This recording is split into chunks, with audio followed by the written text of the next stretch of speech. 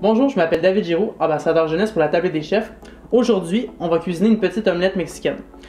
Donc, sur le dessus de l'omelette, on va faire une salsa avec des tomates, du maïs, des bines noires, des avocats, un peu de jus de lime. c'est une belle opportunité aussi pour vous de faire cette salsa-là avec du canage.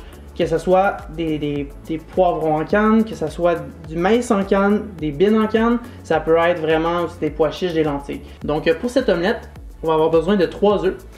Donc, il va y avoir un œuf qu'on va casser dans le premier cul de poule. Ensuite, les deux autres œufs, on va séparer les jaunes des blancs. Les deux jaunes, on va les mettre dans notre cul de poule avec l'œuf préalablement cassé. Et les deux autres blancs, on va les mettre dans un autre cul de poule pour ensuite les monter en neige.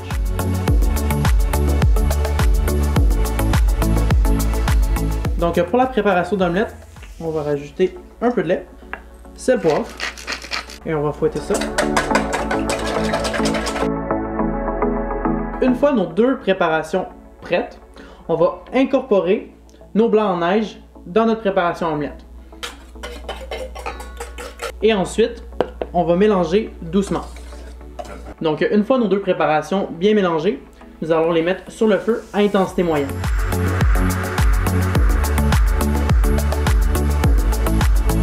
Pendant que notre omelette cuit, on va préparer notre salsa. Donc, on va ajouter le maïs, on va ajouter des tomates, nos haricots noirs, de l'avocat, de la coriandre. Là, on va mettre de la lime et huile d'olive, sel, poivre, tout simple. Après, c'est libre à vous de mettre du piment si vous aimez ça plus relevé, du tabasco, de la sriracha, c'est vraiment pour vous. On mélange le tout. Donc, une fois que l'omelette décolle bien de la poêle, sur le dessus, ça ne sera pas nécessairement cuit. Donc, le petit truc que je vais avoir, c'est que je vais juste mettre mon doigt. Si ça colle encore, c'est que c'est pas cuit. Quand ça va être vraiment cuit, ça va être quand même assez dur. Fait pour finaliser ça, on va simplement rajouter le couvercle.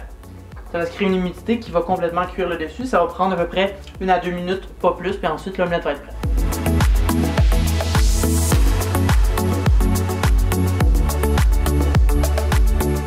Une fois que le fromage est fondu, l'omelette est prête à servir. Et voilà. Et ensuite, on peut garnir de notre salsa. Donc voici une autre idée de recette simple que vous pouvez faire à partir de canage, de restants d'herbes et de restants de légumes que vous avez au frigo. Bonne dégustation!